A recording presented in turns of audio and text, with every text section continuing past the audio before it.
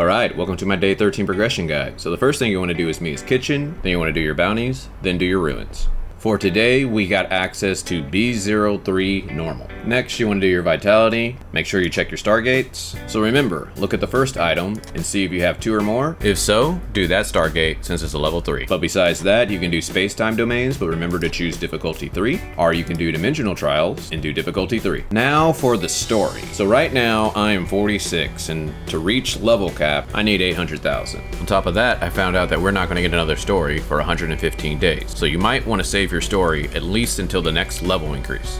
Next, you want to do your daily gifts, so you want to go to the black market and talk to Hopkins, go to Cetus Island and do the claw machine, then you want to do your two ability trainings. Don't forget to maintain your vehicle, so you can go to Astra Shelter, Banges Shelter, the black market are the best place Hykros to get some machine parts. Also, you might want to go after any elemental rocks you see in the world, that way you can get crystals to advance your gear, especially since we're starting to get close to gold gear.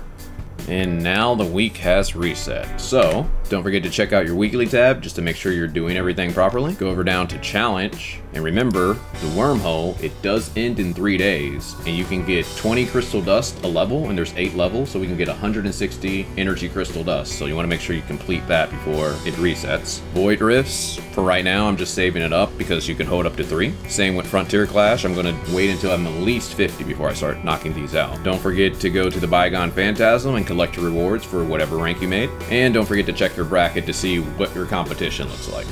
And the last thing I want to mention is Apex League. Remember, if you're trying to shoot for Grand Marshal, you might want to be putting in some time so that way you can get that.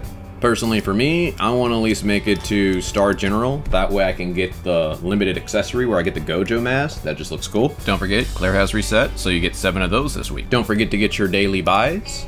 You want to go down to hot and get your vitality solutions. If you're a well, I recommend two, and if you're a free to play, you could pass, but maybe at least try to get one. On top of that, for my wells, we got a discounted proof of purchase box, so we can buy three of these to get discounted matrices. Next, let's take a look at the commissary. So you want to go to the Crystal Dust Store, and you want to buy your two advanced modules and your 40 booster modules for the week. Then, don't forget about the crew store. If You want to buy your potent omnium crystals here. Remember, you can do a daily donation. And don't forget to accept your quests for the week. You can get up to four. Then don't forget about the support store. We want to get those joint supply chips. We need to get at least three for this week. Here are a couple ways to get support points. One, do Frontier Clash once you have no attempts. You can get 375 support points. Two, you can do Void Rifts once you have no attempts and you can get 150 support points. Or three, you can farm world bosses and use Force Decipher and get a hundred support points and also machine parts. So choose whichever one best works for you. Now I want to talk about the Nemesis banner. Seems like there was an issue yesterday where it went away.